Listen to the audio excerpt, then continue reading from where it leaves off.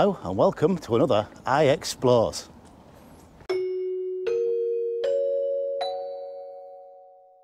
Okay, so today we're on Hamilton Street. We're going to have a look at some of the abandoned buildings down it as well. We'll just come up to one now, and the one in front of me is uh, an old lemonade factory or pop factory we're going to have a look at shortly, and I'll explain some history on it.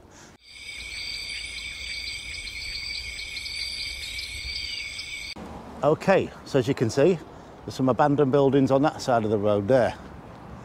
Like that one up there has been burnt, burnt out, but yeah, these are some.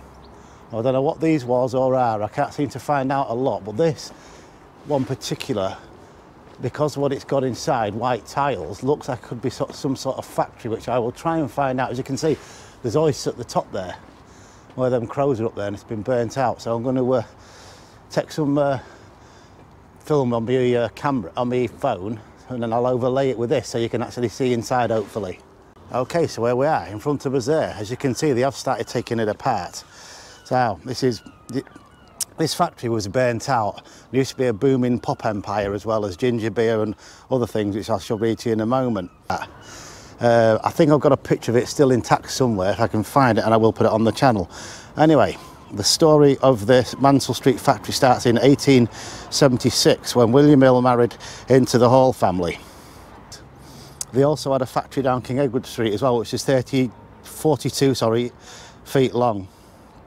Now William Hill Limited Pop factory on Hamilton Street, they carried on for over two years with an handful of workers, brewing such things as, I don't know if I'd drink this, air beer, hot bitter ale, and a popular ginger beer, which I mentioned before.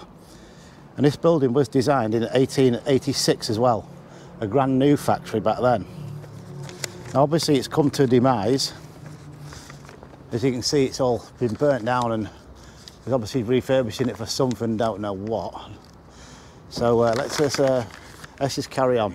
Okay, so when uh, Mr. Hill died in the 1960s, after three, after a build-up of three generations using, you know, operating the factory, it finally closed in 1967.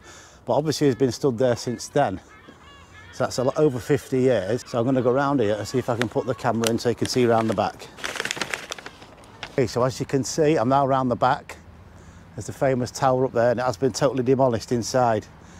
I say I don't know what they're going to do on here, but it's still an abandoned building in any case, and I'm going to do a few more shortly. So this is the first one on the list, but yeah, when they're going to knock this rest of it down, I don't know. So let's carry on and uh, look at some more buildings.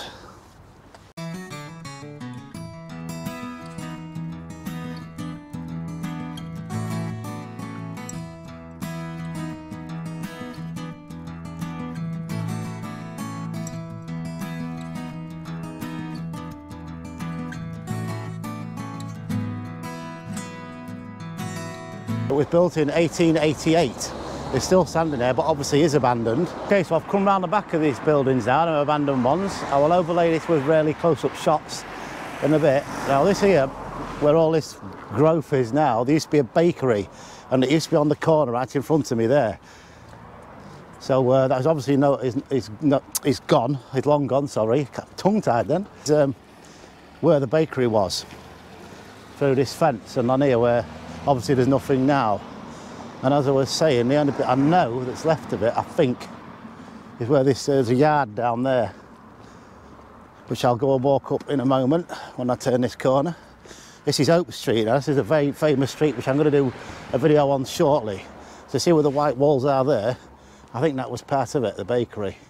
Upon the arrival of the railways in 1848, the dock started to expand and uh, obviously the Royal Docks was started, got built in 1852 and uh, we used to import ice from Norway but previous to the ice factory being built and that was and that began in 1900 when we started to produce ice in the ice factory.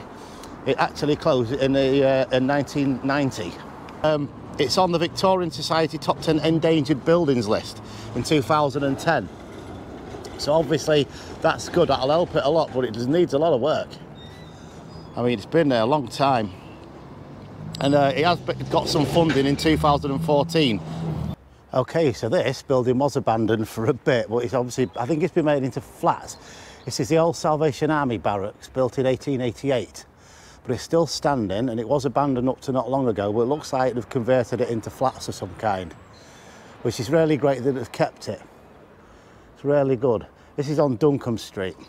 Okay, so we'll come to another abandoned building which is getting use again now through, uh, see up there, Rock Foundation, but this is a school. So let's carry on. So just down here, there's a part of it. That's probably something to do with the school, I don't know, the headmistress or something like that, is the tower. That's still there, that's obviously part of this school, very old. There's a plaque round the corner, which I'll find out all the dates from shortly. So let's go and have a look. Okay, so there's the plaque with the dates on it. They've got 1876, 18th of May 1876 actually. The Great Grimsby School Board. Let's have a walk along here. As you say, just go past this tree. There's always a tree. And so you can see the sign at the top there, the Great Grimsby Public Elementary School Board. And I'll take some pictures of this and I'll put them on on the video. But yeah, this is this looks like the main entrance to it. Now they used to have girls and boys entrances, obviously, but I'll see if I can locate them shortly. Another entrance. Now, like I said, they always used to have a girls and boys entrance. Now, it's possibly one of them. I don't know. There's no sign up there. Probably the other one's the other side of this building. But anyway, let's carry on to the next, the next one. Okay, so this is the old Jewish church, which is still standing. Obviously abandoned, but it's still there. Even some of the windows are intact, which is amazing, really. It's great. Let's go and have a look at this dome down here. Yeah, there it is.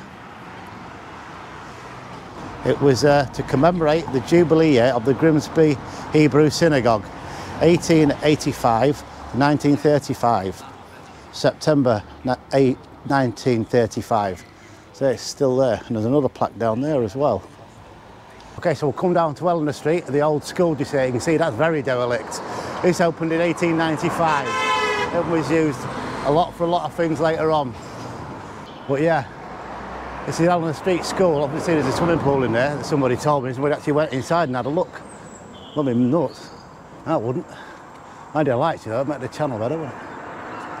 But yeah, that's that. I'm gonna pop this over the top. I don't know what's down there because I can't see it. There you go. Okay, so we're coming up to the Grimsby Cord, Corded Company. I'm gonna have a walk right up to it as well. Looks like you can, there's nothing that says you can't. So let's have a look. Look at this. Obviously another abandoned building. Looks like it stretches, looks like it stretches down there, as you can see the top of it there, look. Stretches quite big, it's a big building. It's meant to be one of the biggest ones in the country at the time. See the words at the top there? Yeah, that's well abandoned. Absolutely nothing here. It's the first time I've been able to get in anywhere like this. is brill. So I'm gonna go. Looks like people have been down here. Well, this, is, this was the entrance where the horses came through, which I've just read. It's obviously out from the street down to here. And obviously stretches down here as well, so let's have a look a bit more. Look at this. Obviously, I don't think I can get in it or anything, it's all windows are blocked up, but I'm gonna go as far as I can. Let's have a look. I'm gonna keep the camera rolling, I can always edit later. Oh, I thought that was an outlet then down there, but yeah, it stretches on a bit as far as I can get. There's a window up there, so what I'm going to do is, is put the camera up there. The camera's either can and I don't know what he's looking at at all. I'm stretching as far as I can. If there's something here, I'll put it on, but if not, yeah. So this is really good. I'm going to bring it back down now, as you can see up there as well. Windows at the top, and it does stretch all the way down that way. So that's brilliant. Let's go and uh, have another look somewhere else, maybe. Okay, so come to the end of the video abandoned buildings. I hope you enjoyed watching that. I'd like to thank all my subscribers as always and all the people that watch my content. I added it up the other day and I've had a, a really good over a thousand views now so thank you to everybody that really has watched my content and keep watching it. I hope you enjoyed this one and I'll see you next time on the next video.